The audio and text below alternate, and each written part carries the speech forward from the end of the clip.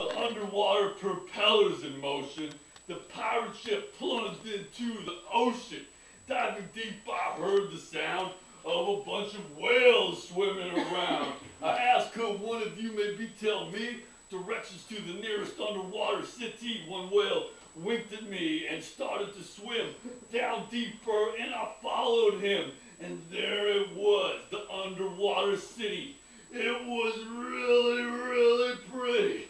There were all sorts of types of towers, and I could stare at them for hours. The tallest ones were made out of crystal. Others were stone, like the Pyramid Temple. Under the water, they shine so bright, crystals shining amazing light. My nanobots let me breathe okay, but this city took my breath away. The galactic pirate ship almost there. We better find a place to park somewhere. The sign said free parking lot. So I took the ship down and found a spot. I locked up the ship and swam out to see the beauty of this underwater city. Well, I started to get lost in such a sight, but then I remembered about that satellite and how it was really my only lead. The Temple of Ascension is where I need to find my way to because I see that I am actually probably inside of virtual reality still. And so I thought about all of this until I saw this sea snail who was trying to yell, but I could only tell it was about his shell that this big whale was towing away. I felt sorry for the snail, but I couldn't stay. I had to swim to the shell. Before it was gone, I grabbed it with my hands and I tightly held on. I knew that this whale was probably going to a tow yard where they do all the towing.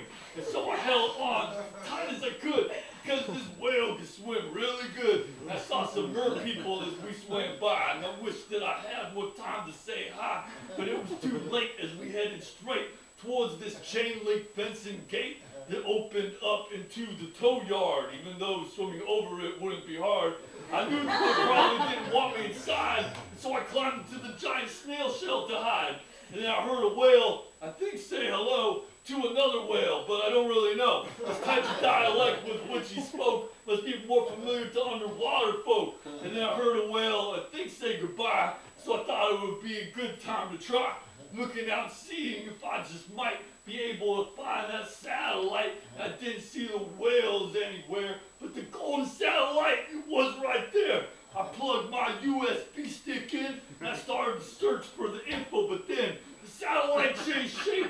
His arms all grew really long like an octopus and started to smash everything all around.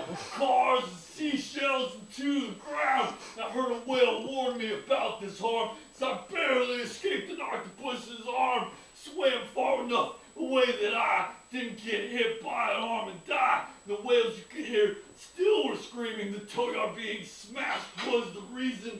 Deadly arms steadily spinning, pulling me towards its mouth. I see grinning, making waves under the sea. This monstrosity coming after me. But no way he could catch me. He was moving so slow. But then he started to go faster though and I got hit by an arm really hard, knocking me all the way out of the tow yard.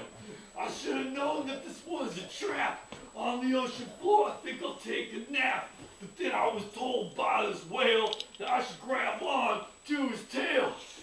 I know where and I didn't know when, but I managed to grab onto there and then.